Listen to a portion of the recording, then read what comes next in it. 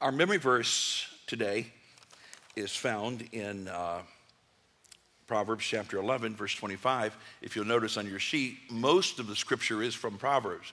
And I'm going to tell you why it's, most of it's from Proverbs. It's because Proverbs is probably one of the greatest uh, books in the Bible for wisdom about life. And there's nothing more kind of core to life than relationships.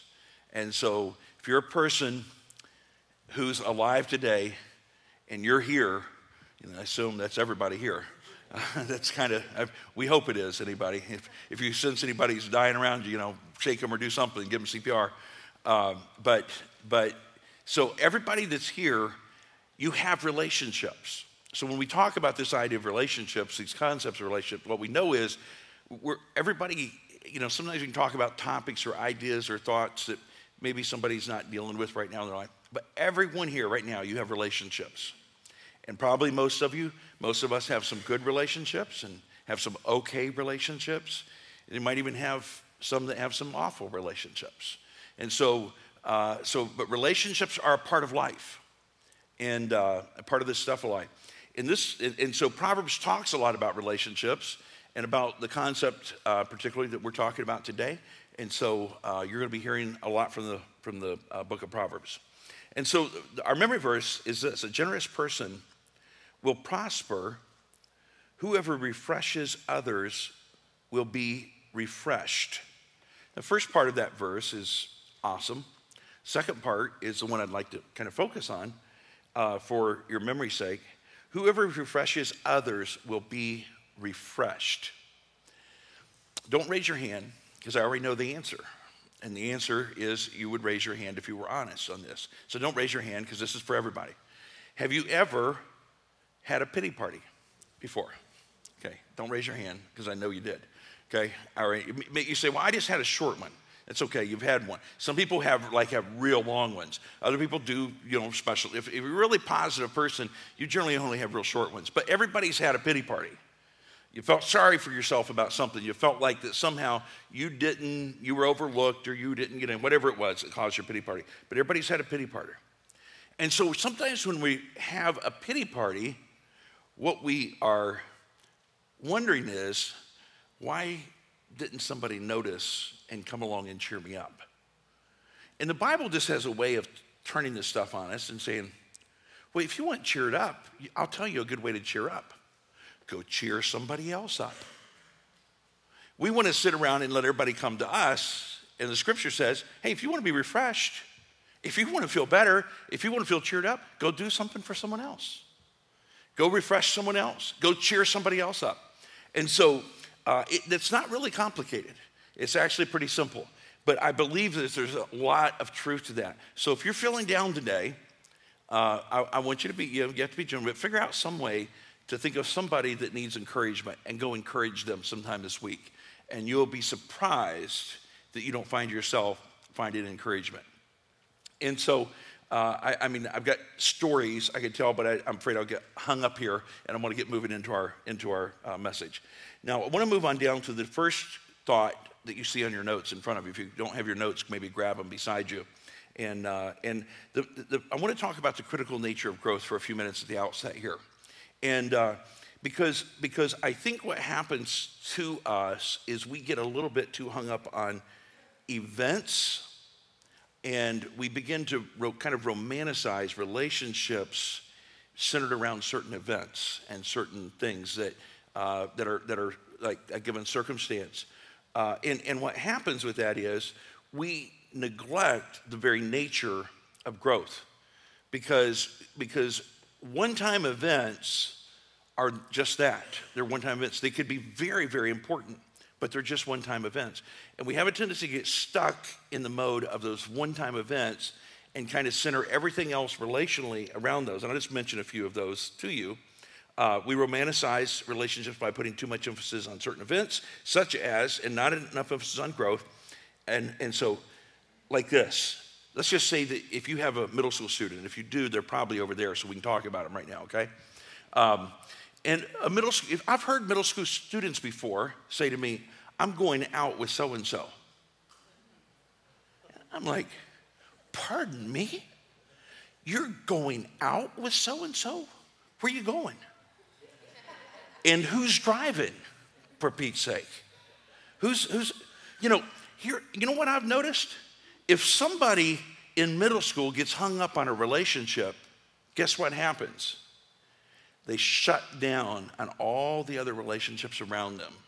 They get zeroed on this, and somewhere down the road, probably in a few weeks, a few months, sometimes I've seen it happen in a few years, which is really sad. That thing goes away, and they lost all that time with all those other friends and all that. They didn't live as a middle school student. They tried to live like an adult, like they were in this, you know, relationship. What a sad thing. And so when you're in middle school, don't focus on, you know, I know I'm talking to the choir here on this one, okay, so I'm just move on from there. But, you know, dating in middle school is a joke. And I don't mean, I mean, now, don't tell your kid that, okay? I'm saying that because they're not in here. But that's a joke. And it, because that needs to be something they don't focus on. It's, it, and so, uh, anyway, uh, isolates them, they can't even drive. A wedding. A wedding instead of building a life. Now, I, I'm not, I think weddings are very, very important, okay? Don't get me wrong. I think they're critically important, and I don't think they should ever be minimized.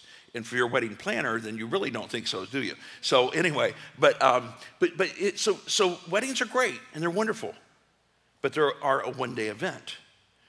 And sometimes, now this is just the practical side of RIDE, okay? And I'm not suggesting that this really would be the case because I think a wedding should be a big deal. But sometimes I've thought if you went to your parents who are maybe going to help you, and let's say I've heard numbers. I know what my adult daughter cost me. Uh, I mean, you know, that, that doesn't sound right. I know how much it costs to get the matrimony thing taken care of there, you know, and, and have that great day. And it was a great day, and it was wonderful.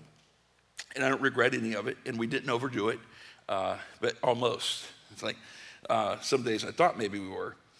But here's the deal if you were to take what a lot of weddings cost today and utilize that as a down payment so people can have a house to live in and move forward with their lives. Now, when I say that, that sounds like I'm a killjoy. I don't mean it. Have a great wedding, but don't spend your future on your wedding day. That's all I'm saying. It is a very, very important day. It's a, it is so important. It's important to invest time. It's important to stand in front of people and say in front of people, you know, for better, for worse, for richer, or poorer, because there's a lot of commitment. That, when it's made public, it just makes it a lot, I don't know, it seals it. It's a great thing, great thing. So I'm not against that. I'm just simply saying, if you live so much for your wedding, you're going to have to wake up, you know, two or three weeks down the road and figure out how to pay bills and do this and do that and live life. And uh, just make sure you're not sacrificing what life is about in a given moment. The birth of a child. Now, I, I think the birth of a child is one of the most amazing things. It's one of, the, it's one of my favorite things as a pastor. And I go to the hospital and I see this brand new baby and I see these smiles smeared across you know, uh, people's faces. Um, the, the, last baby I think it was was uh, was Megan, who is uh, Nathan's sister-in-law, and she and her husband come to church here on a fairly regular basis.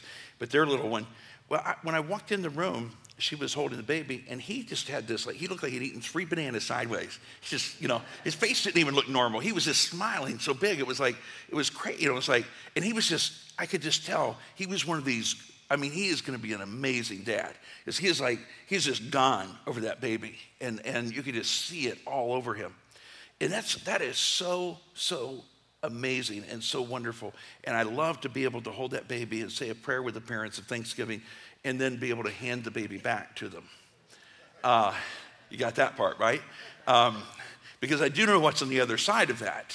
And, uh, and so but it is a great, great moment. But if you live only for the birth of that baby and forget that they poop and pee and they cry in the middle of the night and, and you're going to go sleep, you know, there's a reason why there's this thing called postpartum depression, you know, because there's sort of a letdown. Are you sad you have a baby? No. But it's like there's this glow, this all this, and then whew, real life hits. Real life hits. And it's kind of tough. It's kind of hard. You know, I bumped into Shelley and Philip last night at a store, and, uh, and, and I, I was, as I was reviewing my message this morning, that it came back to me that I kind of found myself doing this very same thing because I was looking at their, um, I got to remember which, which prophet he is, which, which, which prophet, it's your middle son, which, Elijah, okay. Uh, I'm gonna, I, I, just, those last two, I'm gonna get them confused. Uh, so Elijah, he was, uh, he, he, was sitting in the front. I didn't see him at first. I was talking, I saw a little baby um, Micah and Isaiah. I know their names. I'm just going to get them turned around here, okay?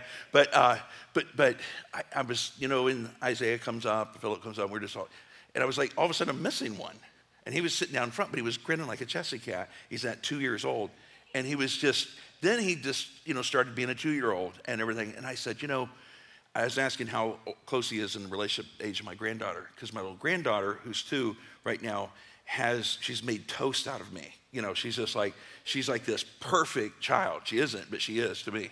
And uh, and and when she comes up to me and she raises her hand up to me and goes pops and grabs my hand and starts to drag, I go wherever she tells me. I go. You know, I've had tea parties, everything else. I mean, it's just like whatever you tell me to do, I'm doing it. You know, she just drags me around and, and she's got me wrapped. And I just, and I said to Shelly, I said, and, and Philip, I said, you know what? Uh, oh, this two to four is just like the perfect age. But you know, and it is, it is great. But you know what? You know what I'm ignoring by that? It's real easy to focus in on what we really like the age and forget that all ages are important and each have their own specialness and that we have to learn to grow and enjoy, not get stuck in babyhood, not get stuck in toddlerville, but keep growing. I think one of the most aggravating things to me about my adult kids when they became middle school students and high school students and then young adults, Lord forbid. But anyway, um, was this. I, when, when, they would, when they would kind of move into a new arena, you know, I felt pretty grown up. I felt fairly mature. But all of a sudden, I felt like that made me uncomfortable. Them moving into that, that new arena made me uncomfortable. And I would have to be honest with myself and say, okay, Rod, this is, you're going to have to grow up more here. And you're going to have to accept this is where we are. And I didn't always want to grow up to that. I want to stay here. Let's stay, let's keep them two, three, and four. Let's go back to two, three, and four. That's, yeah, it's frustrating, but boy, that's fun. And it's so safe. This felt unsafe. This felt like the unknown. This felt like the frontier. And sometimes I didn't want to go there. And so sometimes I went dragging and screaming into that. But the truth of the matter is, your life will force you to continue growing up. Now, you can resist it and you can run from it and you can you can say, I'm not going to, and just throw up your hands. But life will continue. And I think as long as we live, there's going to be things that happen that force us to keep growing up.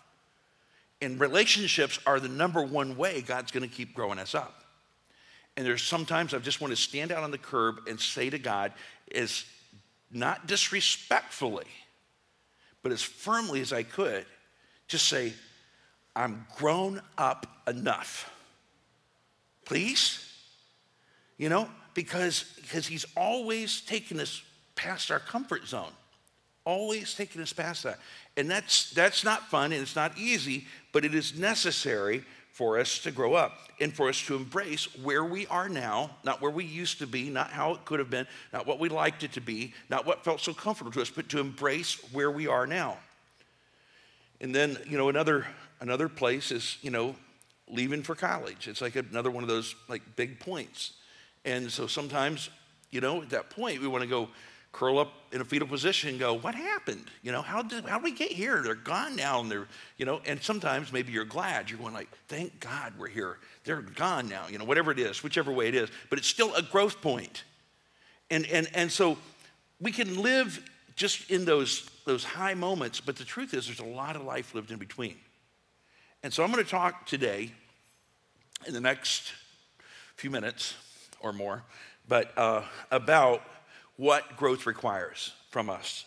And, uh, and, and before we do that, let me just read this verse of scripture to you from 1 Corinthians chapter 13. What is 1 Corinthians chapter 13 called? The love chapter. You maybe didn't know this is in the love chapter, but it is in the love chapter, okay? And it's verse 11. It says this When I was a child, I talked like a child. I thought like a. I reasoned like a. When I became a man, I put the ways of childhood behind me. Now, that's a, that's a great, great verse. But you know what? The Apostle Paul wrote that, and he wrote it from a standpoint of God's inspiration. So it's something for us to pay close attention to. And I think when we read that, I think maybe we have to go, hmm, is that true for me? I put the ways of childhood behind me. Am I growing up? Am I really facing adulthood? Am I embracing it? Am I embracing it in fullness? Or am I trying to run from that? Trying to hide from that? It's something to consider. Growth is critical for maturity to happen in our lives. Now, let's talk about what growth requires in relationships. Number one, growth requires time. Growth requires time. I'm going to read these proverbs to you, and then I'm going to talk to you a few minutes about this. It says, Those who work their land will have abundant food. Maybe you ought to underline the phrase work their land.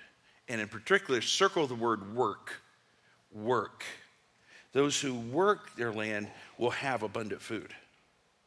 But those who chase fantasies have no sense.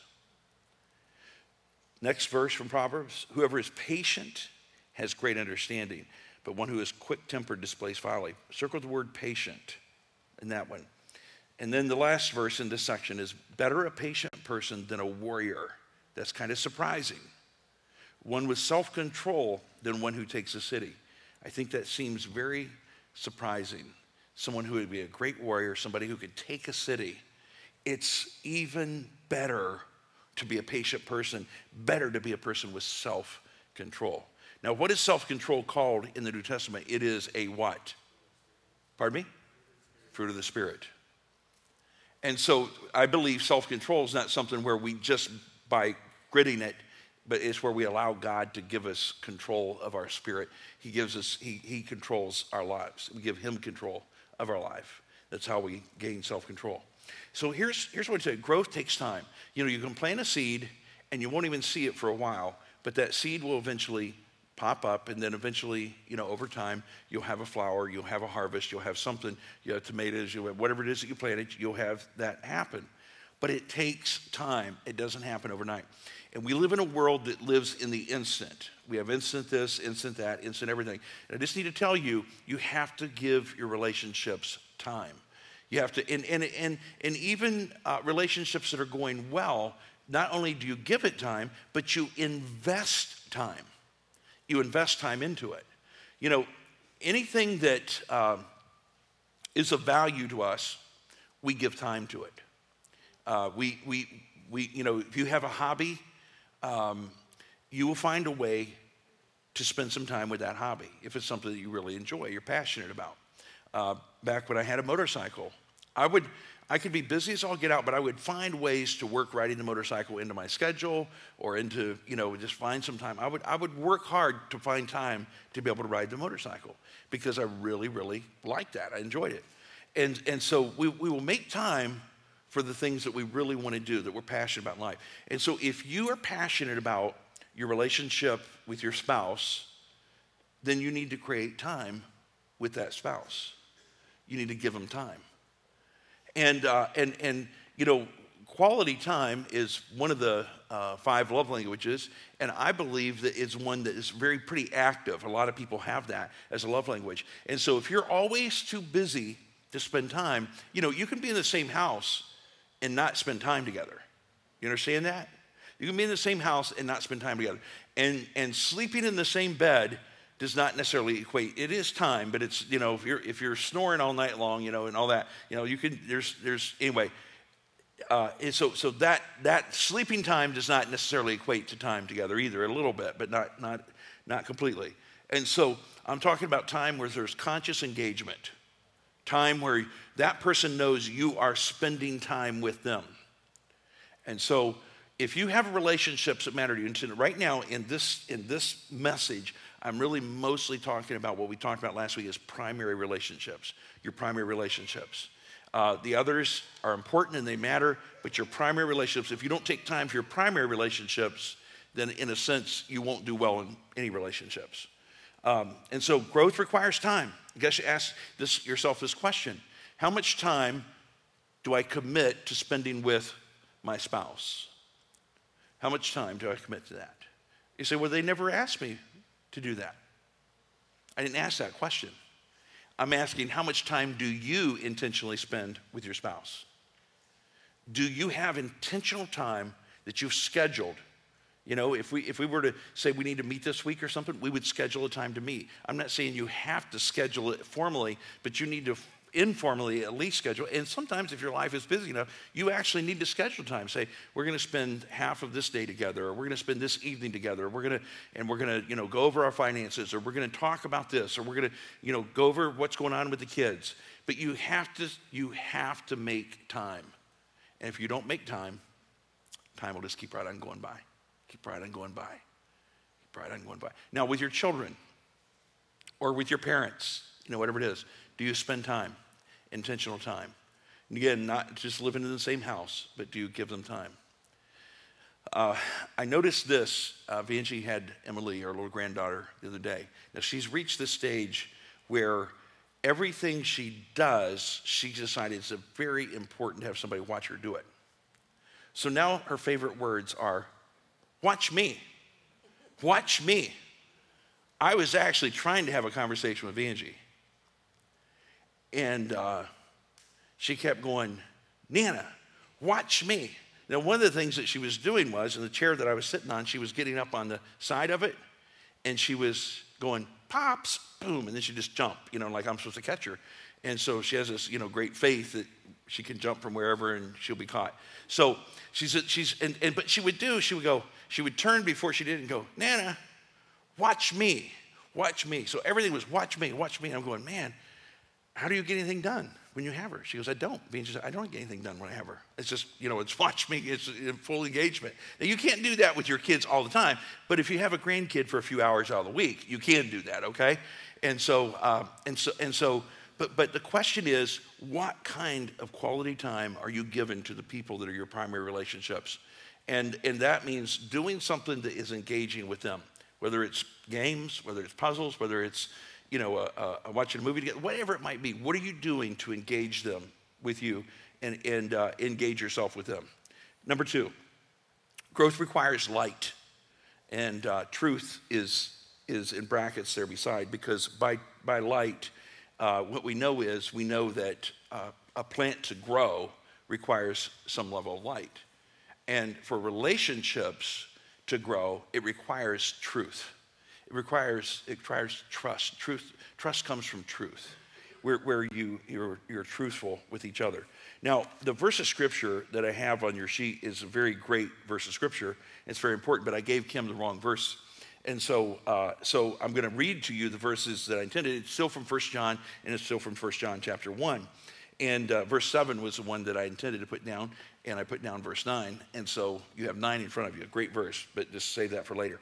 Um, but right now I'm going to read, I'm going to expand that out a little bit since I'm opening up the scripture here to read it to you. I'm going to read from verse 5 through verse 7. It says, This is the message we have heard from him and declare to you God is light.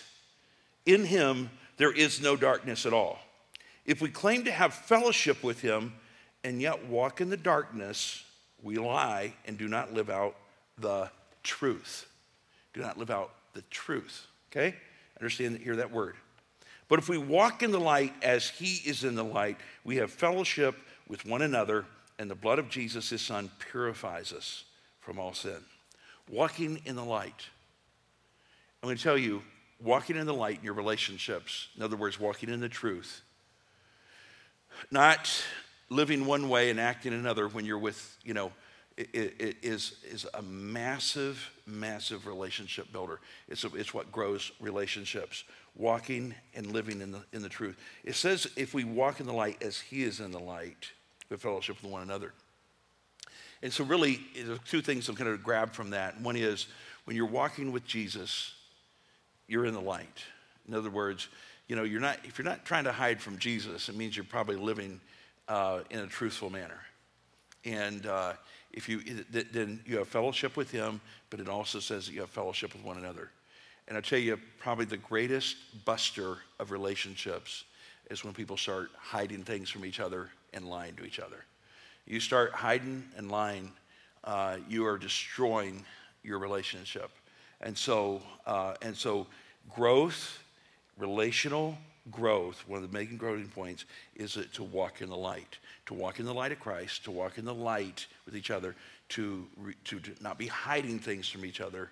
And, not, and, and that, that's even true for children. You know, people who lie to their children, um, you, you will suffer great consequence for that. Do not lie to your children.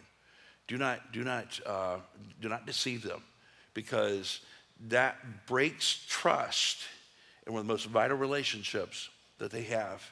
And it makes it very hard for them to trust God when the people that they've been most reliant on have lied to them. And so do not lie to your children. Do not walk in the light. That doesn't mean you have to tell them everything at all times, but, it, but don't lie to them. Um, you know, sometimes Hunter, he can, he's so inquisitive and he can ask such specific questions. It's like, you know, ask me that question five years ago. I'm not talking about things he needs to know, but I'm thinking, you know, like uh, he might go, Well, Dad, how much money do you have in the bank? You know, so I just say, Well, it depends on the hour.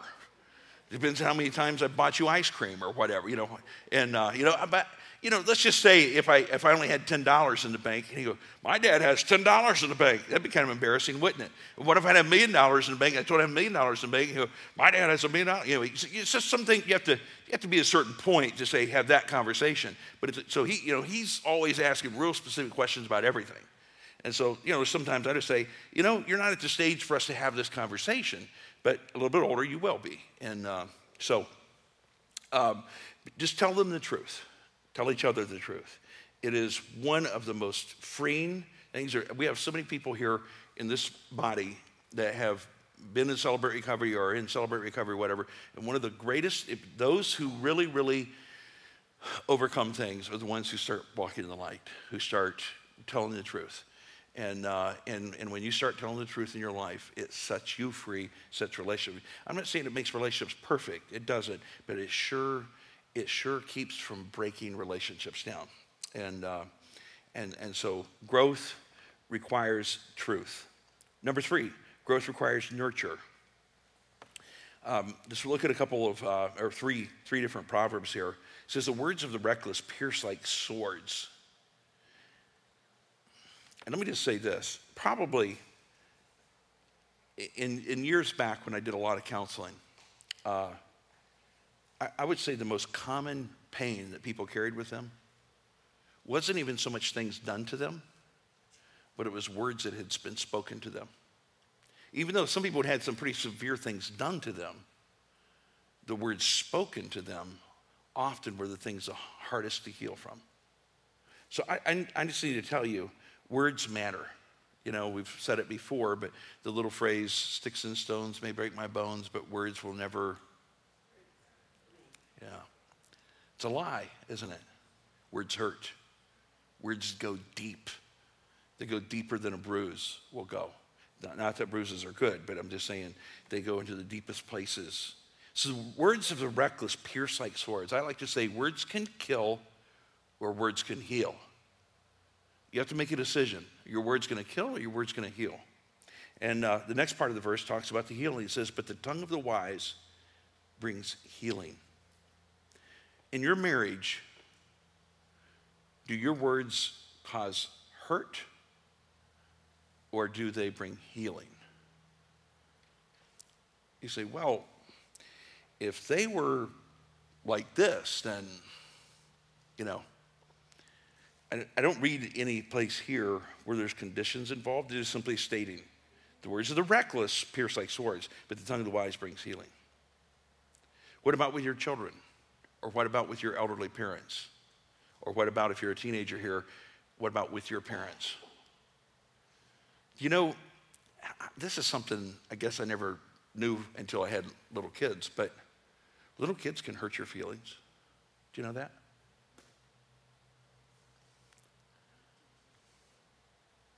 Little Emily, she act like she's gonna come to me, and then she sees Nana, like, Nana, running off. I'm, that doesn't hurt deep. I, I love her to love Nana, okay? And she's always loved Nana way more than me.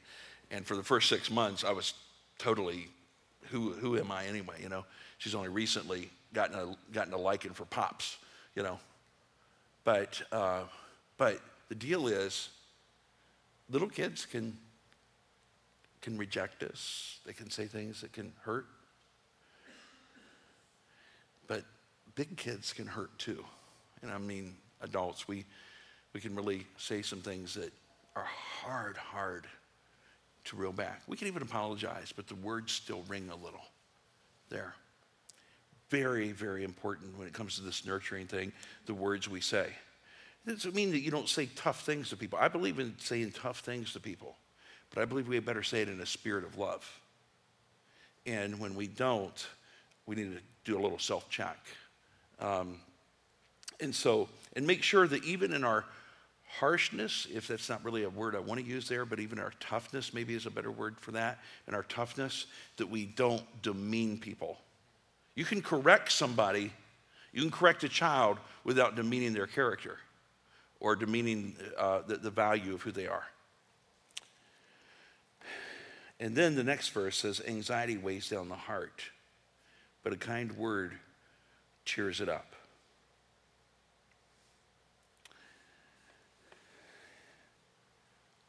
Last night, uh, Hunter came down with an earache. He's only had a couple in his lifetime, but this one was seemed to be pretty severe because he was wailing obnoxiously, wailing, just wailing, you know, hanging onto his ear, you know.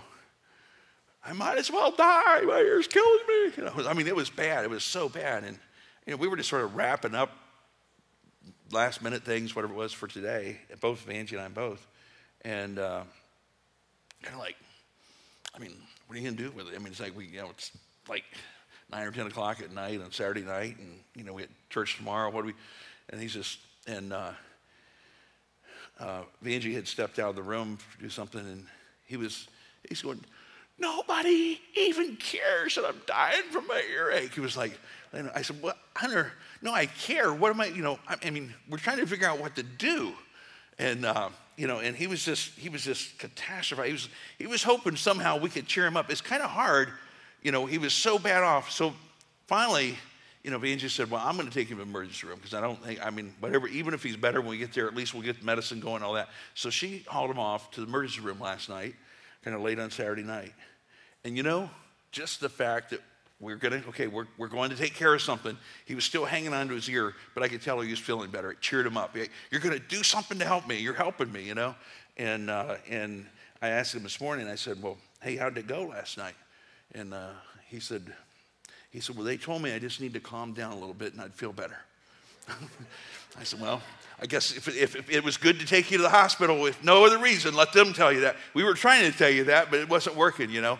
Our cheering up wasn't doing too good. So, there, you know, sometimes people are just, you know, anxious enough or whatever. In that moment, you can't cheer them up. But you can, you, it doesn't mean you still have to, you know, I mean, there's a side of me that just wanted to go, you know, okay, everybody has pain. We all got pain. We're going to get this fixed. Come on, Hunter. You're nine years old. Grow up a little bit. You know, just man up on this thing.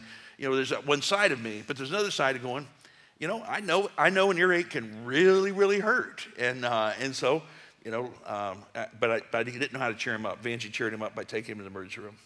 Um, light in a messenger's eyes brings joy to the heart. And good news gives health to the bones.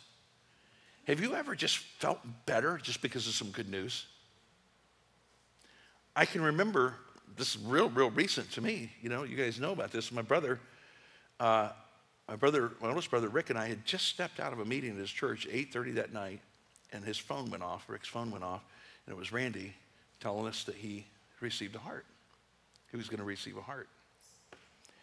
and that I was staying with my brother Steve down there, so I went on to the house, to his house, and uh, we were sitting up in his living room just talking about this and figuring out how we're going to get there, who's and um, and uh, and how we're working all the details of that out.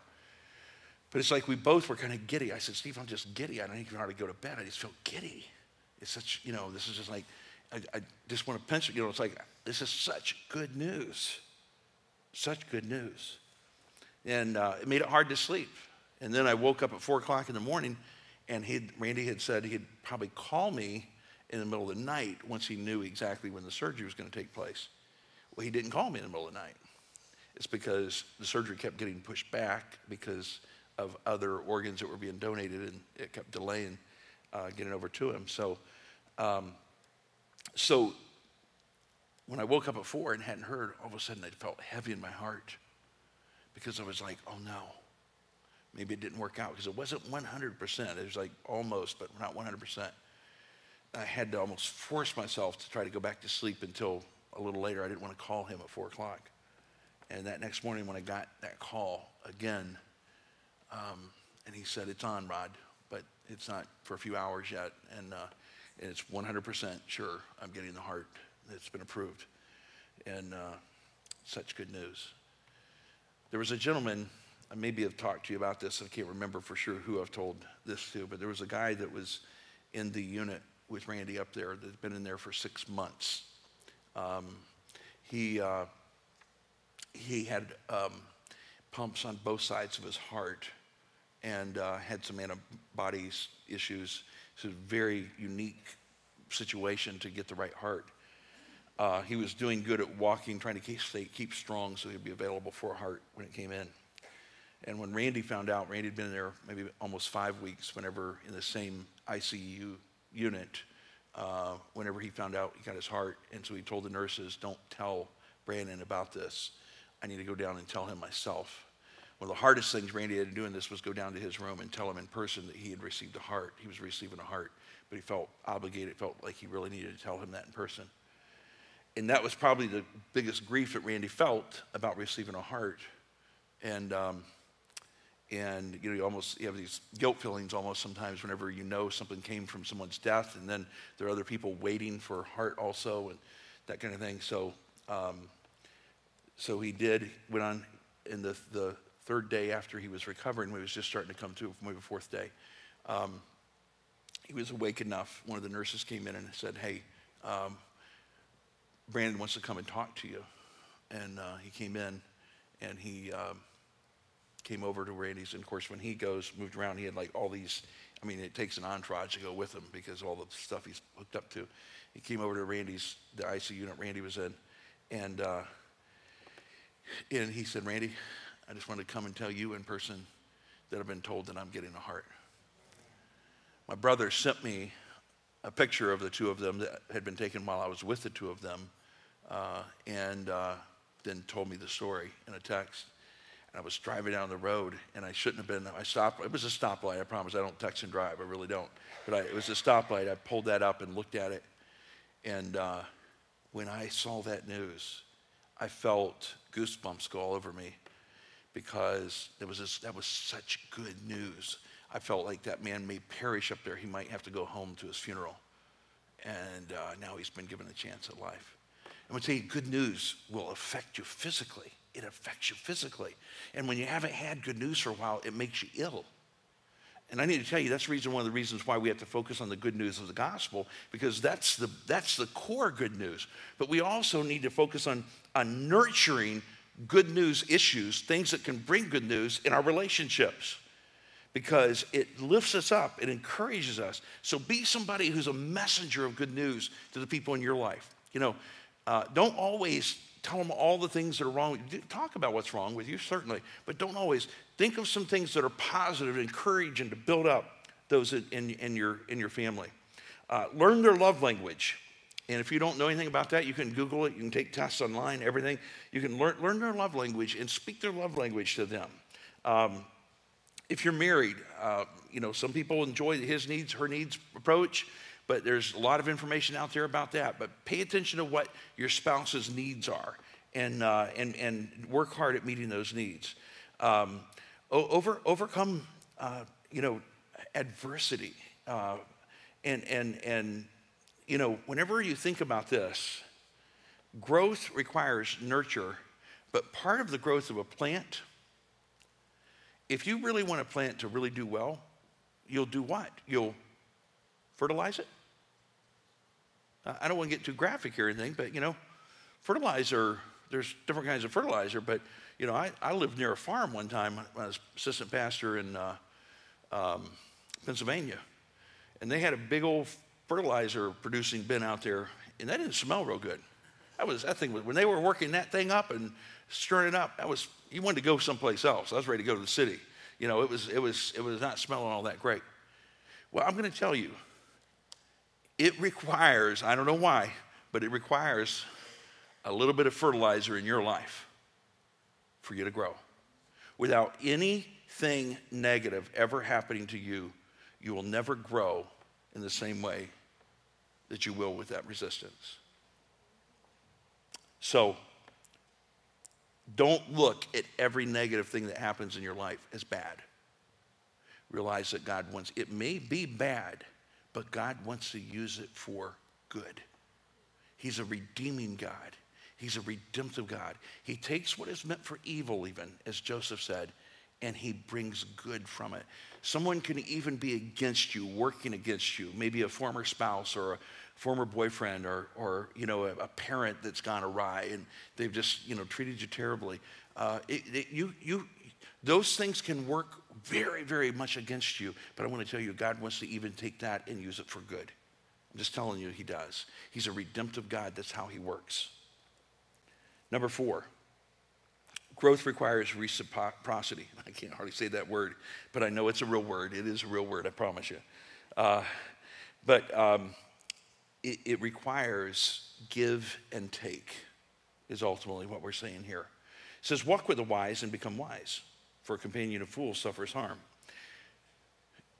In life, we need to have relationships where there's great give and take. Remember last week I talked about reaching up, reaching across, reaching down?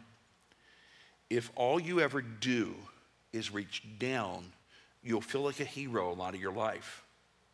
But the truth of the matter is, you won't re- you, you'll, you'll end up being very barren inside. And so you have to have strong peer relationships and you have to have some strong relationships that are stronger in certain places and points than you are that you're reaching up to. Don't just take from them. Like I said, sometimes people that I've reached up to, I've actually written them a check or given them a gift card to thank them for that. There are others that are good enough friends of mine that they wouldn't receive it and that kind of thing. But here's but what I want to tell you is you need to make sure that it's give and take. Relationships, the best relationships in the world, the best marriages are where nobody is feeling taken advantage of. If you're feeling taken advantage of, you either have a self-pity problem or you have another kind of problem, and that is an imbalance in your relationship. And so so you you know a lot of times people say just try harder try harder try harder well you can try harder to the point that you're depleted to nothing the point is you may you need to address it when it comes to a certain point and you feel like it's way out of balance you've got to address it and the best way to address typically is for counseling and certainly it's very critical who you go to counsel for and you know we try to give some guidance on that if you're if you're interested in asking for that information uh, we certainly try to help you uh, find somebody that's beneficial to you in that way um, but probably, the truth is this who you walk with, who you interact with, and how they interact with you is going to determine much of who you are. Walk with the wise, you'll be wise. Walk with fools, you end up being a fool. And it's just the truth. You've got to have this back and forth, this receptivity. There's a give and take. Now, that doesn't mean in every relationship, but you've got to have it in your primary relationships. In your primary relationships, they should not be you reaching down so far or reaching up so far. It's got to be where you're giving and taking a lot of this. Doesn't mean one of you is going to be a lot better with money than the other. One of you is going to be a lot better with the emotions than the other. Another's going to be a whole lot better in, with, with, relationships than the other. I mean, you, that's where you balance each other out, but that's where you reach across. And one of the words that I like to use, especially if you're going to be married or marry somebody, you do not want to be codependent. And if you say, What is that? Well, come on, Celebrate Recovery. Come to Celebrate Recovery Thursday night, and they will explain it to you way better than I can in two minutes here. Okay? If you, And, so if, if you're in a codependent relationship, you want to address that. If you're in an entirely independent kind of relationship, I do my thing, you do your thing.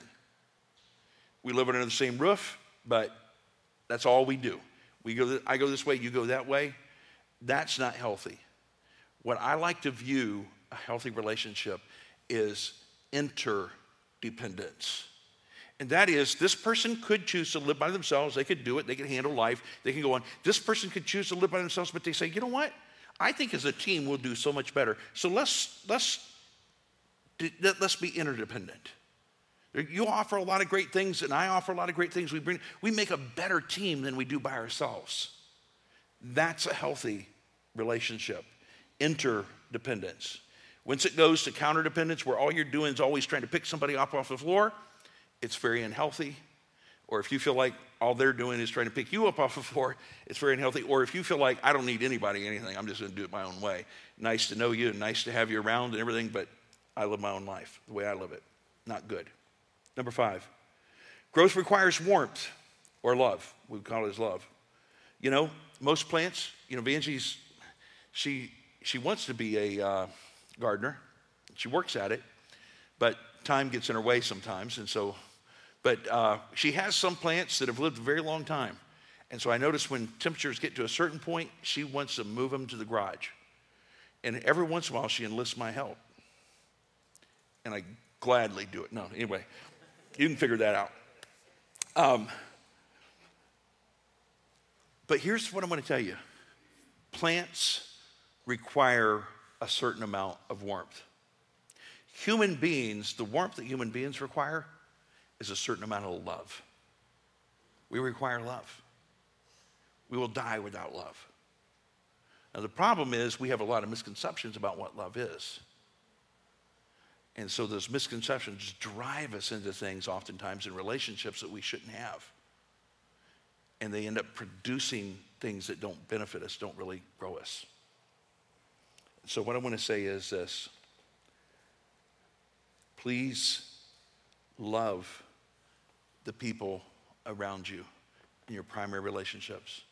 And remember, love is a verb, it's an action, love is a commitment. And a lot of times it's a feeling. But you got to put that feeling behind the action, the commitment. If you put it first, it becomes very conditional. I don't feel like doing that because I don't feel. You know, there's a lot of things you do in relationship, primary relationships, don't have anything to do with feeling. Clean up spilled milk. I don't know anybody that's going, well, I just love cleaning up spilled milk. You know that old line saying, you know, and, and, and well, it's just spilled milk. I just love cleaning up spilled milk. It just reminds me it's just spilled milk. No big deal. I don't, you know, I don't know anybody that loves doing that. I don't know anybody that loves changing poopy diapers. I don't know anybody that loves getting up in the middle of the night and trying to, you know, take care of a colicky baby. I don't know anybody who loves, but people do it all the time. You know why they do it? Because they love that person enough to do it, whether they feel like doing it or not. They might sometimes nudge your spouse and go, I've done the last 20, middle of the night, your turn, baby. You're saying, you know, you got to show a little love tonight. You got to show some love tonight.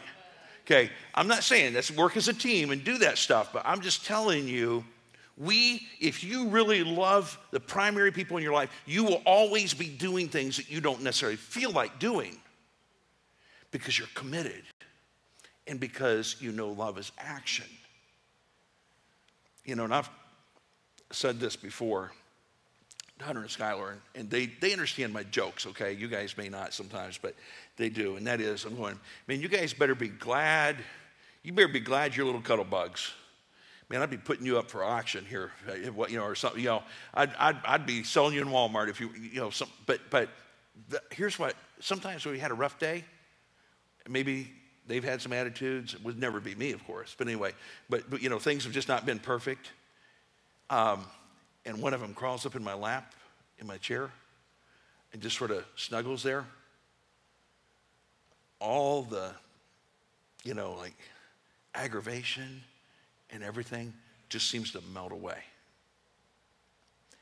And, and I'm going to tell you, you don't start with affection, you start with commitment and you start with action.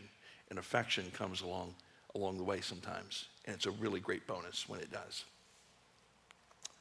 Last one is growth requires knowledge. All who are prudent act with knowledge, but fools expose their folly. This last verse here is the one I wanted you just to please grasp. The purpose of a person's heart, heart are deep waters, but one who has insight draws them out. How well do you know the primary people in your life? Do you ever drop the bucket down into the well of their spirit, of their soul, of their being, and pull up the deep stuff? Have you ever asked your spouse, What are your dreams? What are your hopes? What are your aspirations? What, what, at this point in life, what would you like to accomplish? What would you like to see happen? What would you like to see for us? What's your vision for us? What is your hopes for us? You might be surprised if you ask that question. With children, it's very, very much so how you might go about that. And I'm not here to give a big lesson about that. I'm just simply saying this. It says this the purposes of a person's heart are deep waters. But the one who has insight draws them out. You know, Billy, you know, as a counselor, that oftentimes people come and they'll talk to you about surfacey issues. But at some point along the way, you get enough insight, you start dropping that bucket down a little deeper and deeper, and all of a sudden the real stuff starts to come out. It starts to come out. You don't have to be a counselor to do that, but you do have to be a listener, and you do have to commit time. And the person has to believe that you want to know the truth. Because a lot of times we don't tell people the truth because we don't think they want to hear it. Right? I'm just praying that as you look over this list, as God speaks to your heart, if there's some primary relationship in your life, that you would just say, to kind of evaluate it and go, I think I'm doing pretty good here, pretty good here, pretty good here. Boy, this one here, I need to change some things. Just let God's Spirit guide you on